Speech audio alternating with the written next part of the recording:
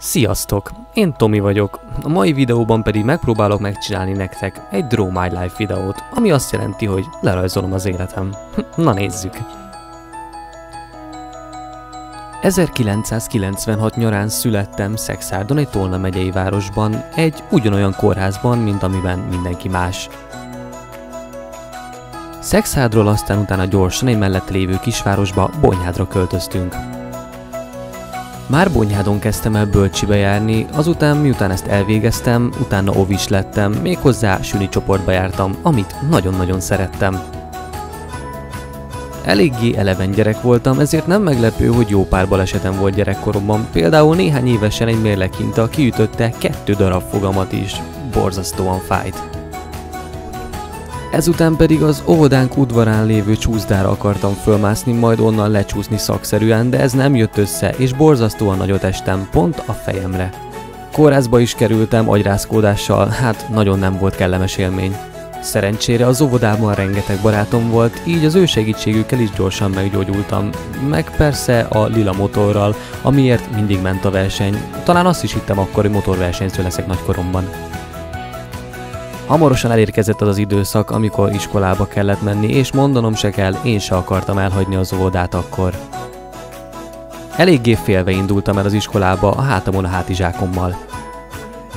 A suliban viszont lett két nagyon jó barátom, Ákos és Viktor, szinte minden időmet velük töltöttem, nagyon-nagyon bírtam őket, és ebből is adódóan nem voltunk túlságosan jó gyerekek, mi voltunk az osztály csintevői. Sajnos a két jó barátom öt év után úgy döntött, hogy hatosztályos gimnáziumba megy, ezért ott hagyták az általános iskolát, én pedig teljesen magányomba maradtam ott az osztályommal. Bár nagyon rossz érzés volt egyedül maradni az iskolában, a tanárok talán jobban megkedveltek, már nem voltam annyira rossz, és szerencsére a jegyeim is javultak, szinte mindenből ötös és négyes voltam. Mivel nagyon unatkoztam, a Lego figuráimmal kezdtem el kisfilmeket forgatni, egy kis kamera segítségével stop motion jellegű filmeket csináltam. Talán itt szerettem bele először a filmezésbe. Az iskola folyosóján szinte mindig a gombos telefonomon azt néztem, hogy milyen filmet sikerült előző nap összehozni a legókkal. Két év után, miután elvégeztem a nyolcadikat, gimnáziumba kellett mennem. Eléggé stresszes élmény volt, de szerencsére ugyanúgy maradhattam Bonyhádon, és nem kellett kollégiumba menjek.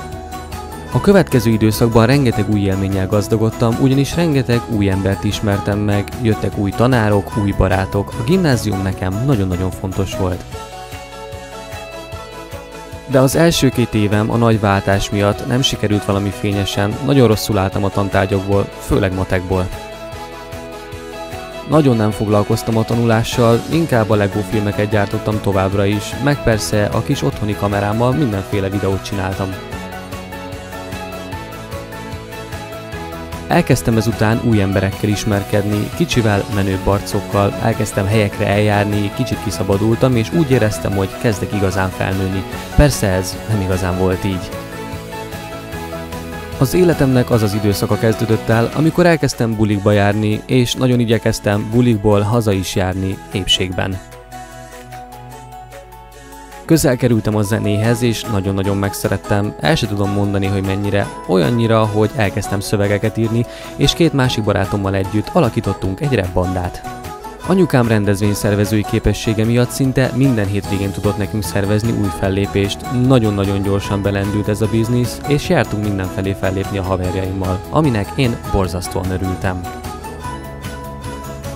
Abban a rövid időszakban tényleg azt hittem, hogy borzasztó nagy repstar lesz belőlem, szinte láttam magam, hogy átveszem a Grammy díjat majd egyszer.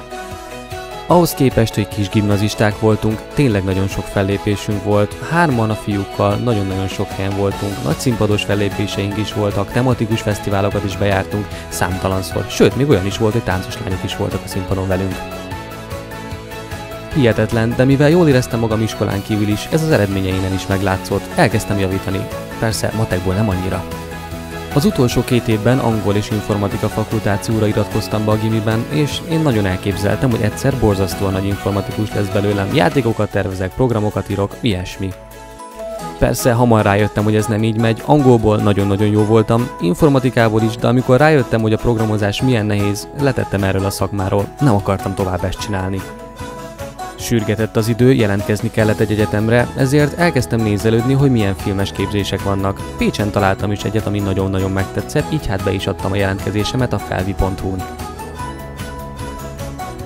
Az érettségitől egyáltalán nem féltem, és talán ennek is tudható be, hogy elég jól sikerült. Nem arra számítottam, ami ott volt. Az emberek kedvesek voltak, és zöggenőmentesen ment minden. Nagyon jól sikerült. Az érettségi után bevállaltam egy kis orvosi beavatkozást, az orvos viszont közölte, hogy a beavatkozás dátuma pont egybeesik az egyetemi ponthatárok kiirdetésével. Én nem bántam és megcsináltuk a beavatkozást.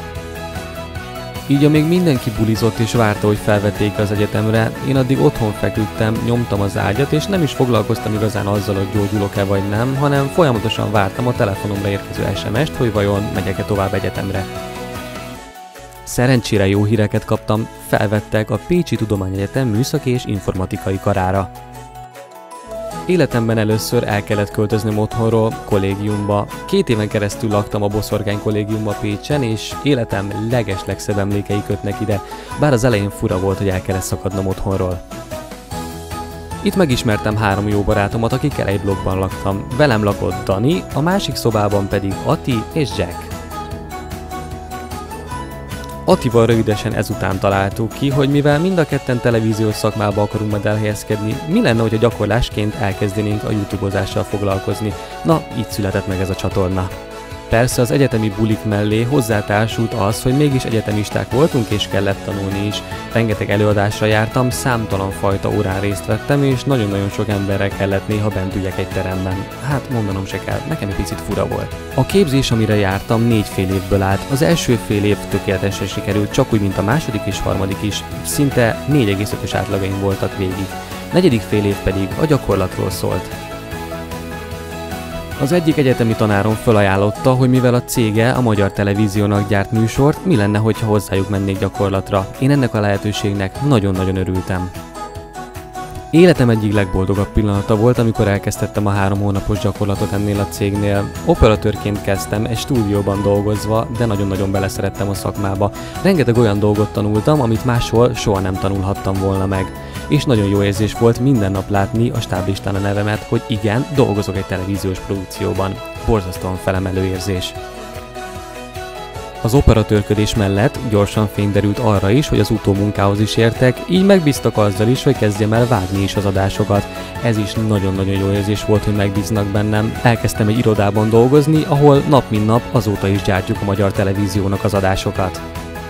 A gyakorlati fél év végének közelettével nagyon sok beadandót kellett írnom, és persze eleget kellett tanulnom is, de ezzel annyira nem volt problémám. Leadtam a beadandóimat, a záróvizsgán pedig szerintem nagyon jól teljesítettem, nagyon jól prezentáltam, egyenesen Pakman Péter, a TV2 egyik műsorvezetője előtt. Eléggé féltem az elején, de szinte 5 perc alatt elmúlt ez az izgalom. Sikerült elvégeznem az egyetemet, és borzasztóan büszke vagyok erre az eredményemre, mert kiváló minősítéssel zártam ezt. Mivel a képzésünkön elég kevesen értek el ilyen kiváló eredményt, büszkén pózoltam a talárban, és nagyon-nagyon büszke voltam magamra, hogy kiléphetek a nagybetűs életbe. Azóta is a tévében dolgozom, mert miután elvégeztem az egyetemet, felajánlották, hogy maradjak náluk, ezért borzasztóan hálás vagyok. Így azóta is operatőrködök, vágok és mindenfélét csinálok, és új dolgokat tanulok, ami a televíziózáshoz kapcsolódik. Mondanom se kell, hogy borzasztóan szerelmes vagyok a munkámba. Annyi minden ide köt már Pécsre, főleg a munkám, hogy nagyon keveset járok haza Bonyhádra, hiába van 40 kilométerre, két hetente azért igyekszem hazanézni. Szerintem már nyugodtan kimondhatom, hogy Pécs lett most már az otthonom.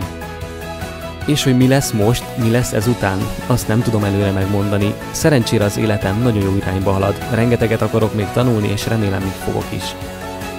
Köszönöm, hogy megnéztétek ezt a videót, hogyha tetszett, akkor természetesen lájkoljátok, osszátok meg, és ne felejtsetek el feliratkozni a csatornára. Én Tomi voltam, köszi, hogy itt voltatok. Sziasztok!